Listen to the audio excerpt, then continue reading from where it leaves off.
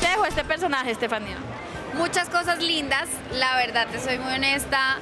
Eh, me ha dejado todo lo que soy ahora. He crecido mucho personalmente, profesionalmente, como hija, como compañera también de trabajo.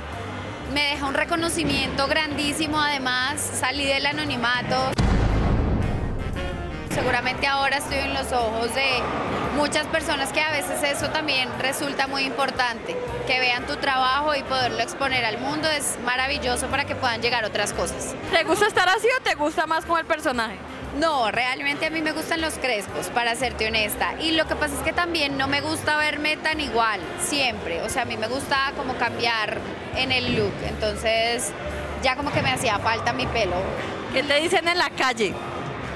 Eh, pues a la gente le encanta el personaje. Sí, mira que yo al principio como que pensaba que me iban a agredir, como pasa muchas veces en redes sociales, pero no, las personas en la calle son muy generosas, muy lindas, admiran mucho el trabajo. Me he sentido demasiado bien. Antes de este personaje, ¿cómo te sentías? Siguen habiendo las mismas ganas de lograr cosas, pero ya de lograr cosas más grandes. Es decir, antes de pronto yo no creía que esto iba a llegar a mi vida tan rápido, ¿sabes? Como que creía que iba a ser escalón tras escalón. No quiero decir que ha sido eh, fácil, porque pues tampoco lo ha sido. Antes de pronto tenía más inseguridades, ahorita estoy un poquito más segura del talento que tengo.